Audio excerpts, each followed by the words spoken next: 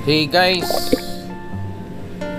Ah, kumusta kayong lahat yan? At dito na naman tayo sa dagat. Naghahanap ng maulam dahil hindi kami nakahuli kaya dito na lang kami mamulot sa ilalim ng dagat. Ayan oh. Maraming mahu... Eps! Ano yan? Tawag sa amin eh... Bakay-bakay yung itim na yan oh. Hindi naman yan mga gagat. Mm, tapos yung isa parang ahas. Ayan, ayan sana. Yan, bahag-bahag yan. Pwede mo namang hawakan yan. Hindi naman mga ano yan. Yan oh, bahag-bahag yan. Hindi yan ku cucum si cucumber ha. Yun. Yan. Op. Yun, nadali. Oh, laki pala yung bakay-bakay na yan. Parang star din siya. I, i family of starfish. Yun. Ayan, ayan, ayan pa, ayan pa. Oops.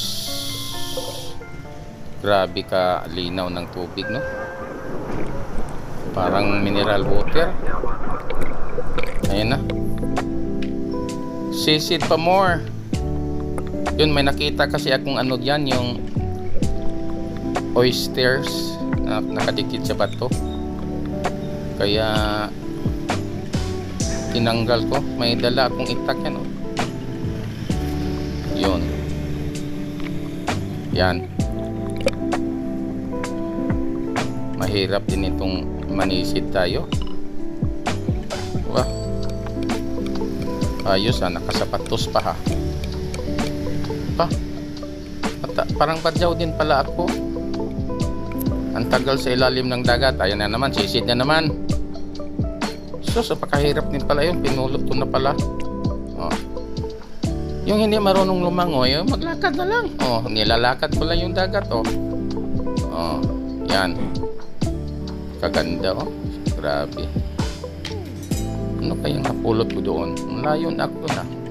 Oh, may bangka din, oh, nang, nang huli sila ng isda. Sige pa dong. Sisid pa dyan dong. Baka para makaulam tayo. Ayun, oh. Oh, nilalakad lang yung ilalim, oh. Oh, hindi nilalangoy, nilalakad lang. Oh. Kahit hindi ka marunong lumangoy, di lakarin mo. Ano bang diferensya yun? Ito maliliit lang si urchins. Si urchins pero malaman siya. Makakaubos na rin, makakaubos na rin ito ng isang kalirong bahaw. Pinipili ko lang yung malalaki, hindi naman yung kasi yung iba diyan maliliit, ayan oh. Mag-ingat kayo dyan ha. Pag ano, mahirap matinig niyan. Mahagpit. Kasi, ano siya, tumutusok talaga sa balat. Tapos, napuputol yung ano niya, yung tinik, naiiwan doon sa ilalim. Kaya yun ang mahirap eh. Yan. Sa dagat, pag sum... Uy, mayroong shell akong nakita. Oh. Isang shell lang. Ayan. Oh. Tawag sa amin yan, liswi. Sarap yan. Sana makaku makaho, makakita ako ng marami. Kahit sampo lang. yung, tan yung kulay green, yun ang tinatawag na seaweeds. Yun. Yun ang kinakain naman ng mga sea urchin. Yan. Tsaka buhangin ang kinakain ng sea urchin. Kasi pagbukas mo yan, daming buhangin. Oops! Ganda talaga. Oh. Ayun. Kaso lang. Kasi yung malalaki, nasa ilalim. Di ko na kayang sisirin mga nasa 10 to 15 meters ang lalaki talaga. Parang kamao kalaki. Kaya kahit limang piraso lang mahuli mo, wala na. Busog, busog ka na. Yun. Ganda ng dagat, no? Hirap nga. Ako pa tagahawak ng kamera. Ako pa ang tagakuha ng sea urchin. Yan yung ginagamit ko, parang ano yan, ah, steel bar, round bar, oh, yung tawag yan. Yan, Hindi pwedeng kahoy kasi lulutang yung kahoy eh. Mahirap makahuli ng sea urchin. Ang tawag sa amin is tuyom. Sa iba, tayom. Oh, may mata sila oh. Isang piraso lang.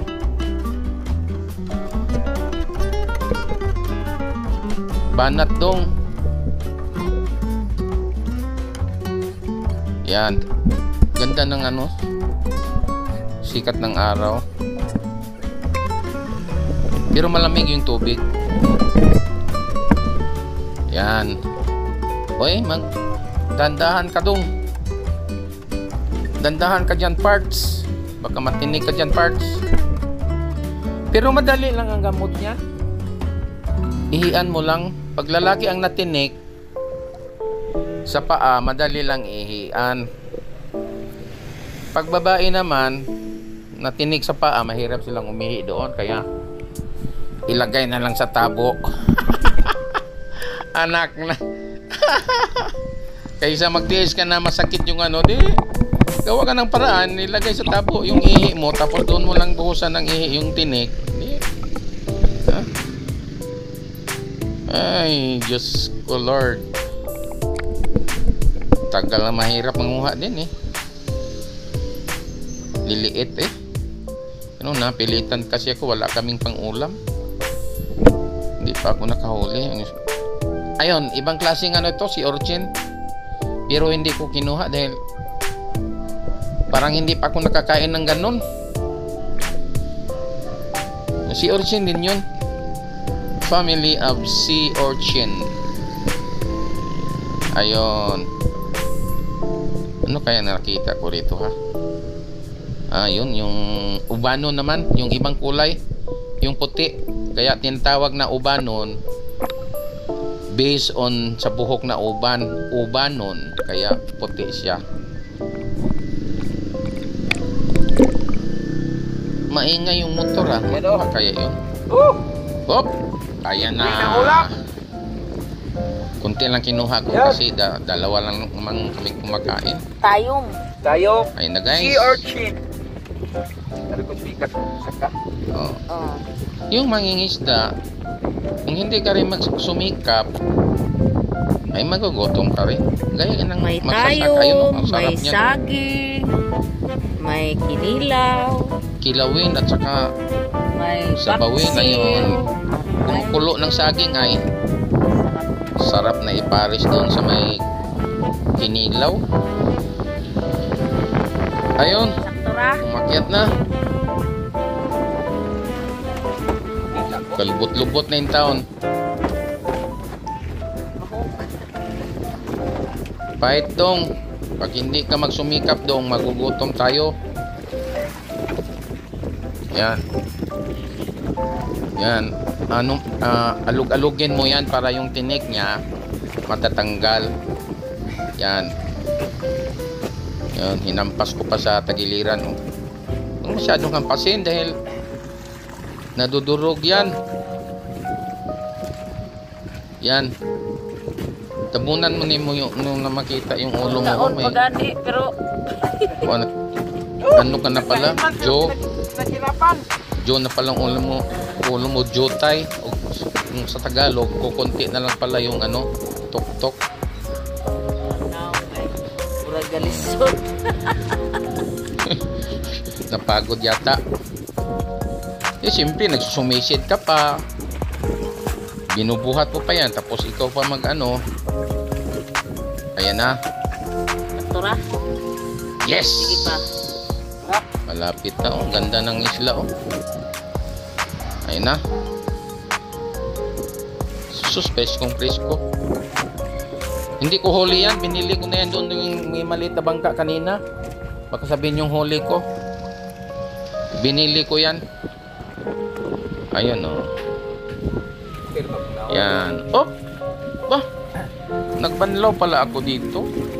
Yun ang buhay namin oh. Magbanlaw ka sa dagat. Dalawang Ito litro lang. lang. ang panlaw ko. Ayan oh. Kasi Walang walang tabo. tubig, tapos yung tabo. Kasa na lang. Yan. Oh. Yan. Parikoy, ligo ka parikoy. Ayan, Alisin mo yung bonit mo. Hindi ko yung ininom yan. Minugmok Banlaw. ko lang. Ah, Yan, oh, sarap. oh. walang sabon-sabon. madlor. Tanggal yung asin yan. Yan, Oh. tanggalin ang sombrero. Para babanlawan Yan. kasi yung sombrero eh. Okay? Oops. Yan. Pangtanggal na ng asin. Basta matanggal lang yung alat-alat. Matatanggal. Buhos din sa likod sa kasaharap Oh. para hindi mangati. Yun. Ayun na guys. Malapit na tayong kakain. Matapos na pala. Salamat pala sa inyo guys sa panonood. Maraming salamat sa inyong palaging pagsusuporta. Sana tuloy yung tangkilikin yung ano ko, mga video ba. Kahit ganito lang yan pero maka maka ano din kayo ng magandang Oh, view, di ba? Oh, ayan oh, sa likod ko oh, Oh, ganda ng view. Yan. Banlawan yung ano natin. Ayun. Uy, sumubra ka na. Da- Dapat dalawang litro dan. Mahirap ang tubig sa dagat. Uy. Oh, yan na guys. Yan.